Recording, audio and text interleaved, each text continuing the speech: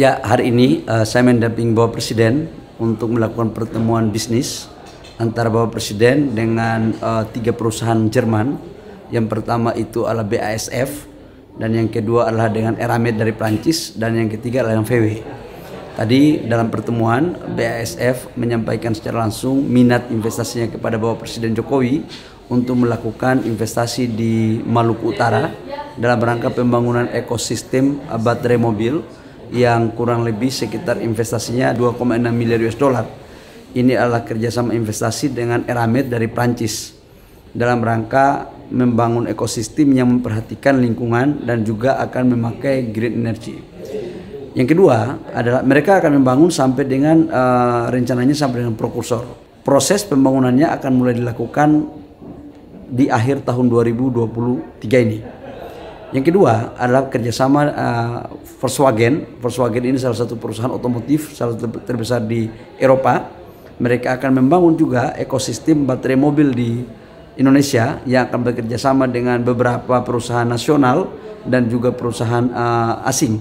Pertama mereka akan melakukan kolaborasi dengan uh, Vale, Vale dengan Ford dan uh, Huayo yang ada di Sulawesi Selatan, kemudian juga ada kerjasama VW, kemudian Eramet dan Kala Group, dan yang ketiga adalah VW akan bekerja sama dengan uh, perusahaan nasional Merdeka. Poinnya juga akan sama ekosistem membangun baterai mobil, cuman ada yang langsung melakukan investasi GV dan ada yang menjamin suplai bahan baku. Saya pikir ini adalah sebuah momentum yang tepat untuk kemudian menyampaikan kepada dunia bahwa Indonesia terbuka dalam rangka bagaimana menarik investasi tidak hanya di benua Asia tapi juga adalah benua, benua Eropa dan ini sebagai bentuk investasi yang inklusif dan sekaligus untuk menganulir cara berpikir orang bahwa seolah-olah pengelolaan tambang kita di Indonesia tidak memakai tidak memperhatikan kaidah-kaidah yang ada pada standar internasional. Insya Allah ke depan investasi ini akan semakin baik. Eh, kemudian untuk realisasi investasinya sendiri Pak akan kapan di tahun ini? Kita akan rencanakan semua di tahun ini akan mulai berjalan.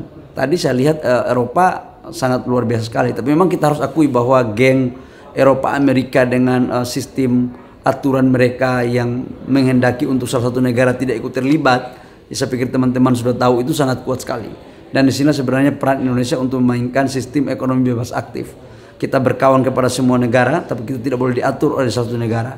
Dan di sini esensi arahan Bapak Presiden tadi menyampaikan bahwa kita harus menjaga betul agar investor semuanya bisa masuk Indonesia dengan baik. Terakhir Pak, kan Indonesia akan memasuki tahun politik.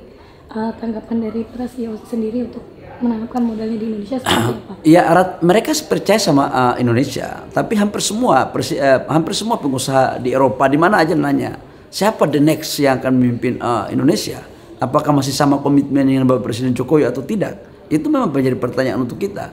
Dan saya pikir uh, kita harus mampu bekerja sama, mampu meyakinkan para investor bahwa Indonesia ke depan akan eh, baik-baik uh, saja. Artinya siapa pun pemimpinnya, tapi itu sebuah tantangan yang kita harus jawab bersama.